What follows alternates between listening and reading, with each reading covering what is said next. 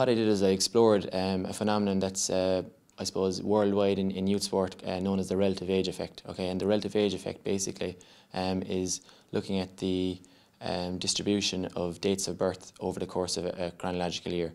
So, for argument's sake, an under 14, um, and if you're looking at it in a quarter perspective, we have the first quarter, January to, to March, versus the person born in the, the final quarter, which would be October to December.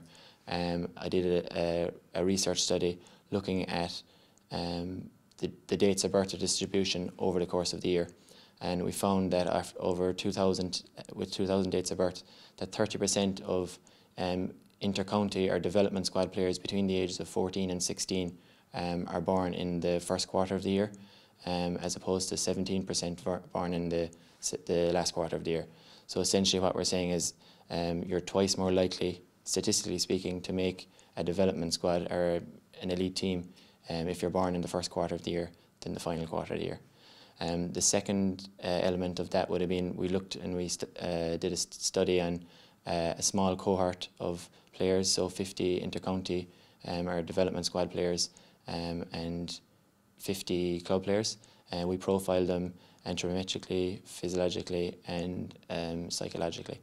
And essentially, what we found was that um, the most significant, um, statistically speaking, the significant determinants were physiological, so the likes of speed, power, um, strength, endurance, and so on.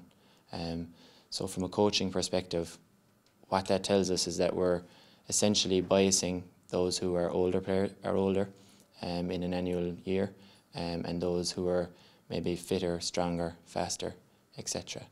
Okay. So there's a number of different possible solutions um, or I suppose implications from this. Um, and I, I don't necessarily have the answer to all of these, but the big message for me today is in relation to awareness of this phenomenon, okay, and awareness of, I suppose, in particular, the younger, the less developed um, players who maybe haven't fully matured. We're looking to, as, as the title suggests, create a level playing field for everybody.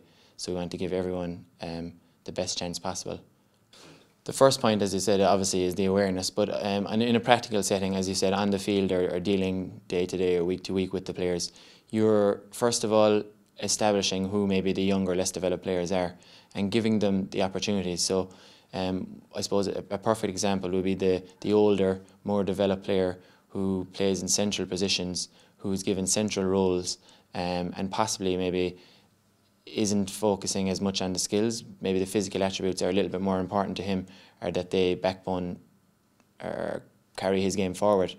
Um, whereas from a, a, the younger, less developed player, you're encouraging them to continuously work with their skills, their movements, and so on, um, so that as as their body matures, um, as they grow older themselves, that naturally they'll have built up or they'll have the technical skills um, in the locker, as you'd say, and um, that when they physically develop, they have the opportunity to fulfill their potential.